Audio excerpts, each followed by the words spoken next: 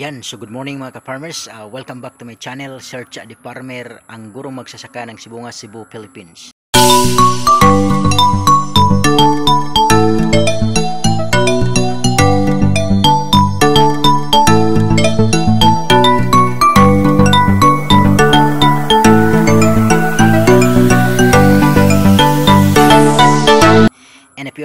Channel mga ka-farmers, please don't forget to subscribe and click the notification bell in order for you to be notified with my coming videos.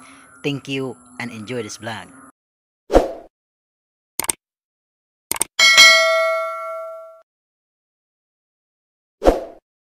Yan, so for today's vlog mga ka-farmers ay pag-usapan po natin kung bakit kailangang balutin ang bunga ng saging mga ka-farmers. So yun po ang ating pag-usapan sa vlog na ito. And um, bago ang lahat mga ka-farmers, uh, shout out muna sa ating mga tagapagsubaybay all throughout Luzon, Visayas, and Mindanao and uh, to the world. no So unang-una, uh, specifically po sa ating mga kasamahan na farmers sa Pilipinas, uh, we have Jupil the Farmer, anak ni Matoy ng Montpelier, Argao, Cebu.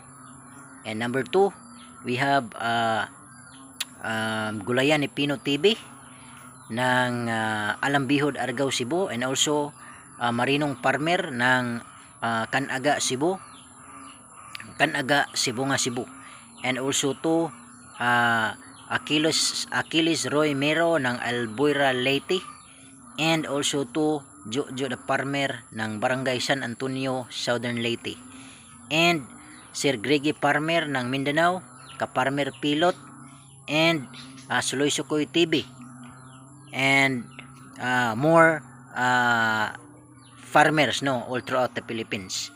And then um, yun nga mga ka-farmers, uh, balik tayo sa ating topic ano. So ang pag-usapan natin ngayon ay ang kahalagahan ng pagbalot sa bunga ng saging. So, yun nga. So, para sa inyo mga farmers, uh, you can comment down kung meron kayong ideya kung bakit. Okay?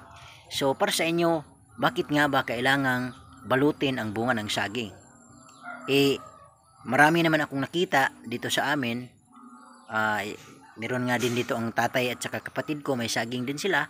Hindi naman nila binabalot. Pero yung sa akin ay binabalot ko. So, para sa inyo mga farmers, ano po ang dahilan kung bakit kailangang balutin ang bunga ng saging. So yun nga, you can comment down below and then by next video ay isa-shoutout po natin yung mga mag-comment. Okay? So, tara na pag-usapan natin mga ka-farmers. Okay mga ka-farmers, so atin pong lalapitan yung saging na aking binalot. At doon po tayo mag explain kung paano, kung ano po ang halaga at bakit kailangan po talaga nating balutin ang saging o yung puso amin yung bunga ng saging. Okay so tara po mga ka-farmers. Atin pong lalakarin at uh, explain po natin. So kung mapapansin nyo po yung mga saging ko mga ka-farmers nandito ay linis la nilis no? linis na linis talaga. Dahil ayaw ko nung uh, hindi malinis yung saging kasi naapektuhan po yung performance ng kanyang pamumunga. So yan nga mga farmers nandito tayo ngayon at lalapitan po natin yung saging kung saan uh, tapos ko na pong binalot. So ito po siya mga ka-farmers. Kung makikita nyo yan mga farmers ito po ang aking saging na laging binablog. Okay so ito po siya mga ka-farmers mataas taas po ang saging na to saka malaki yung uh, buwig ng kanyang bunga so yan mga ka-farmers so naibalot ko na siya mga ka-farmers so ang ginamit ko is yung uh, empty sack ng ultra pack finisher. So yan mga ka-farmers.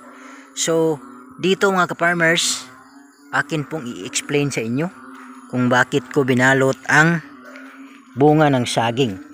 So makinig po kayo mga farmers para at least po ay meron kayong matutunan na lesson about banana farming. So number one po na reason kung bakit aking binalot mga farmers ay unang-una para po maprotektahan yung bunga ng saging sa maaring pag-aatake ng mga insekto. Yun po ang pinakauna mga ka-farmers. Kasi marami pong mga insekto na gustong gusto po mamamahay doon sa bunga ng saging, especially pag malaki yung bunga. So most especially, yung mga insekto na yon ay uh, yung mga bee. Okay? So mga aphids at saka yung mga zoom. So sila po ang ah, madalas lumalapit sa bunga ng saging at pamamahayan po nila. So yun po ang una mga farmers. Ang pangalawa mga farmers ay ah, para mapanatili yung kulay ng bunga ng saging. Kasi pag hindi po natin binalot mga farmers ang mangyayari, instead na green na green yung ah, bunga ng saging mga farmers, ay may meron po siyang mahahalong mga konting ah, black dots.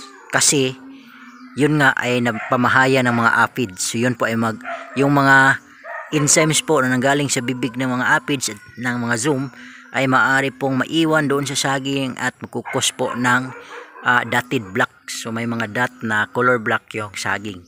So kaya pangit po tingnan. So kaya nagbabalot po tayo.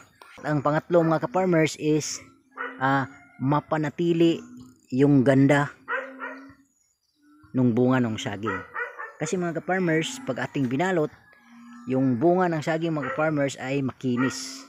Hanggang sa ito ay magulang na at pwede nang i-harvest. So, ah, sobrang ganda po ng harvest mga ka-farmers pag nabalot po natin ng sako o kaya plastic. Kasi, yung texture ng ah, bunga ng saging mga farmers ay mananatili na parang sobrang ganda at saka makinis.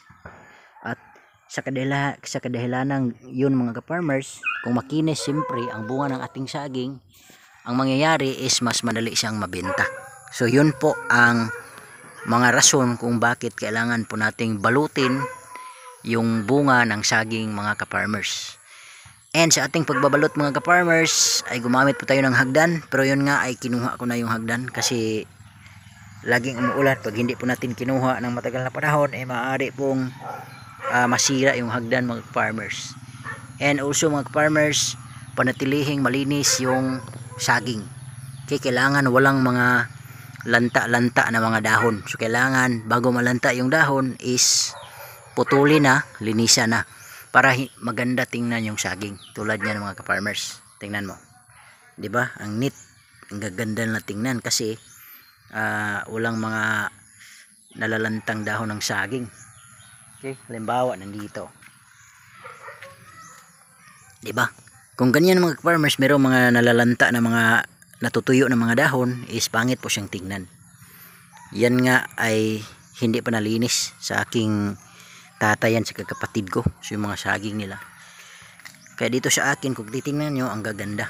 At saka, kailangan po i-control natin yung mga suhi o yung mga saha ng saging. So, kailangan ah, dalawa hanggang tatlo lang na saha ang nakasunod hindi pwede yung marami kasi nakapaapekto din yung sa paglaki ng bunga mga farmers so yun nga mga farmers ano so yun ang ating topic and hopefully meron kayong natutunan kahit kunti mga farmers at least ito ay magsiserve na guide sa inyo kapag magkaroon kayo ng interest na magtanim kayo ng saging o kaya meron kayong saging dyan sa bahay ninyo o dyan sa lupa ninyo mga ka-farmers. So yun ang ating vlog mga ka-farmers. Maraming salamat. So yun po ang ating vlog mga ka-farmers and I hope so ah, meron kayong ah, nakuhang ah, lesson o mga natutunan ah, na mga um, topics no sa ating vlog ngayon. So I hope ito ay magiging guide sa inyo kung sakaling meron kayong saging dyan sa inyong lupa. Alagaan nyo ng mabuti at saka pag namunga balutin nyo ng silupin or kaya sako. Okay? So, once again, this is Sir Cha Di Parmer, ang gurong magsasaka ng Sibunga, Cebu, Philippines. Would like to say thank you so much and also ah, mag-ingat po tayong lahat, especially, especially po ngayon na mal- maraming bagyong na dumadaan sa Pilipinas. So, yun lang and happy farming. Goodbye mga ka-farmers and God bless po.